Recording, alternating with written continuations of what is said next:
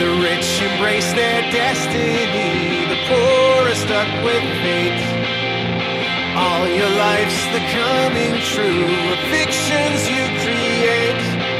In the trenches of the little wars that subdivide your days,